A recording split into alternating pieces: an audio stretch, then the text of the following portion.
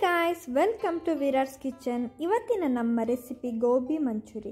ಹೇಗೆ ಮಾಡೋದು ನೋಡೋಣ ಬನ್ನಿ. ಒಂದ್ಸಲ ಇಂಗ್ರೀಡಿಯೆಂಟ್ಸ್ನ ಚೆಕ್ ಮಾಡ್ಕೊಳ್ಳಿ.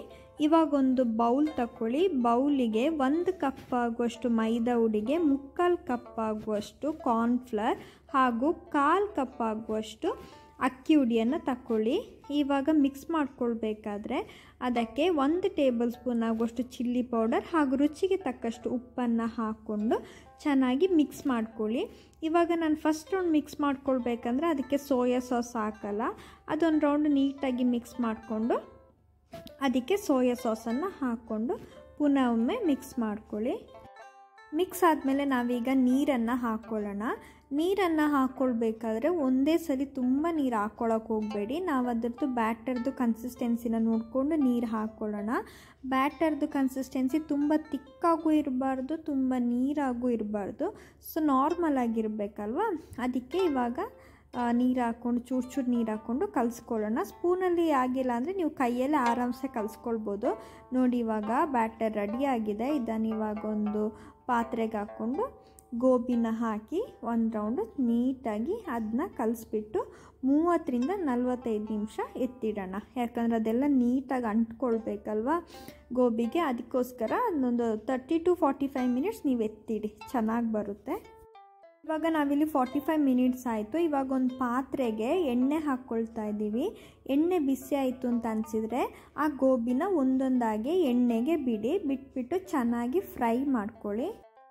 ಯಾವಾಗಲೂ ನಾವೇನೇ ಫ್ರೈ ಮಾಡ್ಕೊಳ್ಬೇಕಾದ್ರೂ ಅದು ಮೀಡಿಯಮ್ ಫ್ಲೇಮಲ್ಲೇ ಇರಬೇಕು. ಹೈ ಫ್ಲೇಮಲ್ಲಿದ್ದರೆ ಅದು ಚ, ಬೇಗ ಕರಿ ಹಿಡಿದ್ಬಿಡುತ್ತೆ. ಸೊ ಒಳಗಡೆ ನೀಟಾಗಿ ಬೆಂದಿರಲ್ಲ. ಸೊ ನಾವು ಯಾವತ್ತೂ ಲೋ ಫ್ಲೇಮಲ್ಲೇ ಇದನ್ನು ನಾವು ಫ್ರೈ ಮಾಡಿಕೊಳ್ಬೇಕು. ಯಾವುದೇ ಆದಂತಹ ತಿಂಡಿಯನ್ನು ನೋಡಿ ಇವಾಗ ಆಗಿದೆ ಅಂತ ನಿಮಗೆ ಅನಿಸಿದರೆ ಅದನ್ನ ಸೈಡಲ್ಲಿ ಇಟ್ಕೊಳ್ಳಿ. ಸೇಮ್ ಹೋಟೆಲ್ ಟೇಸ್ಟೇ ಬರುತ್ತೆ. ಇದನ್ನೊಂದ್ಸಲಿ ಟ್ರೈ ಮಾಡಿ ನೋಡಿ, ರೆಡಿ ಆಗಿದೆ. ಇದನ್ನು ಇವಾಗ ಒಂದು ಬೌಲಿಗೆ ಹಾಕಿ ಎತ್ತಿಟ್ಕೊಳ್ಳೋಣ. ಇವಾಗ ನಾವು ಸಾಸಿಗೆ ಪ್ರಿಪೇರ್ ಮಾಡೋಣ. ಸಾಸ್ ಮಾಡೋ ಮುಂಚೆ ಈರುಳ್ಳಿ ಹಸಿಮೆಣಸು ಹಾಗೂ ಬೆಳ್ಳುಳ್ಳಿಯನ್ನು ನೀಟಾಗಿ ಕಟ್ ಮಾಡ್ಕೊಳ್ಳೋಣ. ಅದು ಫ್ರೈಗೆ ಇಲ್ಲಿ ಕಟ್ ಮಾಡಿ ಇಟ್ಕೊಂಡಿರೋದು ಗೋಬಿ ಮಂಚೂರಿ ಆದಮೇಲೆ ಹಾಕ್ಕೊಳ್ಳೋಕ್ಕೆ. ಇವಾಗ ಒಂದು ಪಾತ್ರೆನ ಬಿಸಿ ಮಾಡೋಕ್ಕಿಟ್ಟು ಅದಕ್ಕೆ ಎಣ್ಣೆ ಹಾಕ್ಕೊಳ್ಳೋಣ. ಎಣ್ಣೆ ಚೂರು ಬಿಸಿ ಆಗಲಿ. ಎಣ್ಣೆ ಬಿಸಿಯಾಗಿದೆ ಅಂತ ನಿಮಗೆ ಅನಿಸಿದ ಮೇಲೆ ಅದಕ್ಕೆ ಬೆಳ್ಳುಳ್ಳಿಯನ್ನು ಹಾಕ್ಕೊಳ್ಳಿ ಕಟ್ ಮಾಡಿ ಇಟ್ಕೊಂಡಿರೋ ಬೆಳ್ಳುಳ್ಳಿನ ಹಾಕ್ಕೊಂಡು ಅದನ್ನ ಫ್ರೈ ಮಾಡಿಕೊಂಡು ಚೂರು ಲೈಟಾಗಿ ಫ್ರೈ ಮಾಡ್ಕೊಳ್ಳಿ. ಫ್ರೈ ಮಾಡಿಕೊಂಡು ಈರುಳ್ಳಿ ಹಾಕ್ಕೊಳ್ಳಿ ಈರುಳ್ಳಿ ಕಲರ್ ಕಂಪ್ಲೀಟಾಗಿ ಚೇಂಜ್ ಆಗಲಿ, ಅಂದರೆ ಒಂದು ಬ್ರೌನಿಷ್ ಕಲರ್ ಆಗಲಿ. ಹಂಗೆ ಫ್ರೈ ಮಾಡ್ಕೊಳ್ತಾ ಇರಿ. ಕಲರ್ ಚೇಂಜ್ ಆಗ್ತಿದೆ. ಇವಾಗ ನಾವಿಲ್ಲಿ ರುಚಿಗೆ ತಕ್ಕಷ್ಟು ಉಪ್ಪನ್ನು ಆ್ಯಡ್ ಮಾಡ್ಕೊಳ್ಳೋಣ. ಜಾಸ್ತಿ ಆ್ಯಡ್ ಮಾಡ್ಕೊಳ್ಬೇಡಿ. ಸ್ವಲ್ಪ ಆ್ಯಡ್ ಮಾಡ್ಕೊಳ್ಳಿ ಸಾಕು. ಸೊ ಉಪ್ಪು ಹಾಕಿ ಚೂರು ಕಲಿಸ್ಕೊಳ್ಳಿ. ಇವಾಗ ನಾವು ಸಾಸನ್ನು ಹಾಕ್ಕೊಳ್ಳೋಣ ಇಲ್ಲಿ ನಾನು ಎರಡು ಟೇಬಲ್ ಸ್ಪೂನ್ ಆಗುವಷ್ಟು ಚಿಲ್ಲಿ ಸಾಸ್ ಹಾಗೂ ಮೂರು ಟೇಬಲ್ ಸ್ಪೂನ್ ಆಗುವಷ್ಟು ಟೊಮೆಟೊ ಸಾಸನ್ನು ಹಾಕ್ಕೊಂಡಿದ್ದೀನಿ ಅದನ್ನು ಹಾಕಿ ಗ್ರೀನ್ ಚಿಲ್ಲಿನ ಆ್ಯಡ್ ಮಾಡ್ಕೊಳ್ಳಿ. ಗ್ರೀನ್ ಚಿಲ್ಲಿ ಹಾಕಿದ ಮೇಲೆ ಅದಕ್ಕೆ ಸ್ಪ, ಎರಡು ಸ್ಪೂನ್ ಆಗುವಷ್ಟು ಸೋಯಾ ಸಾಸನ್ನು ಹಾಕ್ಕೊಂಡು ಹಂಗೆ ಮಿಕ್ಸ್ ಮಾಡ್ಕೊಳ್ಳಿ. ಸ್ವಲ್ಪ ಹೊತ್ತು ಅದರಲ್ಲೇ ಕುಕ್ ಆಗಲಿ. ಇವಾಗ ನಾವಿಲ್ಲಿ ಒಂದರಿಂದ ಒಂದೂವರೆ ಕಪ್ ಆಗುವಷ್ಟು ನೀರನ್ನು ಆ್ಯಡ್ ಮಾಡ್ತಾ ಇದ್ದೀವಿ.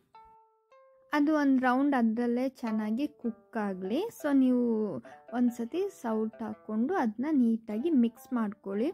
ಗೋಬಿ ಮಂಚೂರಿ ಯಾವಾಗಲೂ ಡ್ರೈ ಆಗಿದ್ದರೆ ತಿನ್ನೋಕ್ಕೆ ಅಷ್ಟೊಂದು ಚೆನ್ನಾಗಿರಲ್ಲ. ಚೂರು ಗ್ರೇವಿ ಥರ ಇದ್ದರೆ ಅದು ತುಂಬ ಟೇಸ್ಟಿಯಾಗಿ ಸಖತ್ತಾಗಿರುತ್ತೆ.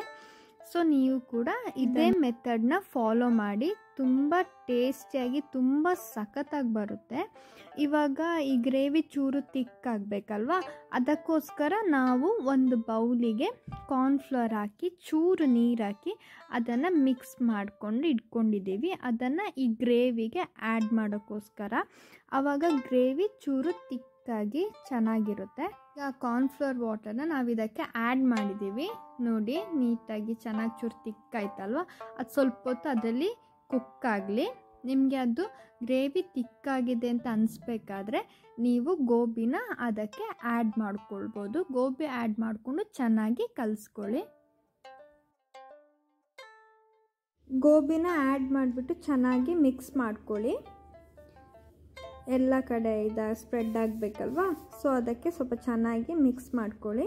ಇವಾಗ ನಾವು ಅವಾಗ ಸ್ವಲ್ಪ ದಪ್ಪದಾಗಿ ಆನಿಯನ್ ಕ್ಯಾಪ್ಸಿಕಮ್ ಅದೆಲ್ಲ ಕಟ್ ಮಾಡ್ಕೊಂಡಿದ್ವಲ್ಲ? ಇವಾಗ ಅದನ್ನು ಅದಕ್ಕೆ ಆ್ಯಡ್ ಮಾಡೋಣ. ಬಟ್ ಅದು ತುಂಬ ಕುಕ್ ಆಗೋದು ಬೇಡ. ಚೂರು ಲೈಟಾಗಿ ಕುಕ್ ಆಗಲಿ ಸಾಕು. ಚೆನ್ನಾಗಿ ಮಿಕ್ಸ್ ಮಾಡ್ಕೊಳ್ಳಿ ಅದನ್ನು ಹಾಕಿಬಿಟ್ಟು. ಇವಾಗ ಗೋಬಿ ರೆಡಿಯಾಗಿದೆ ಇದನ್ನು ನಾವಿವಾಗ ಸ್ಪ್ರಿಂಗ್ ಆನಿಯನ್ ಹಾಕ್ಬಿಟ್ಟು ಒಂದು ಬೌಲಿಗೆ ಸರ್ವ್ ಮಾಡ್ಕೊಳ್ಳೋಣ. ನೋಡಿ, ತುಂಬ ಕಲರ್ಫುಲ್ಲಾಗಿ ತುಂಬ ಸಖತ್ತಾಗಿ ಬಂದಿದೆ.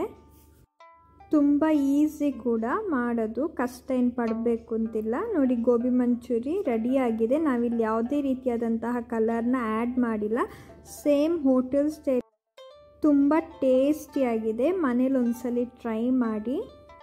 ಸೊ ಫೈನಲ್ ಆಗಿ ಈ ವಿಡಿಯೋ ನಿಮಗೆ ಇಷ್ಟ ಆದರೆ ಪ್ಲೀಸ್ ಲೈಕ್ ಮಾಡಿ ಶೇರ್ ಮಾಡಿ ಕಮೆಂಟ್ ಮಾಡಿ ಹಾಗೂ ಸಬ್ಸ್ಕ್ರೈಬ್ ಮಾಡೋದನ್ನ ಮರಿಬೇಡಿ. ನಾವು ಬರ್ತೀವಿ ಮತ್ತೊಂದು ಹೊಸ ರೆಸಿಪಿಯೊಂದಿಗೆ ಅಲ್ಲಿವರೆಗೂ keep watching Virat's kitchen. Stay home stay safe thanks for watching ಧನ್ಯವಾದಗಳು.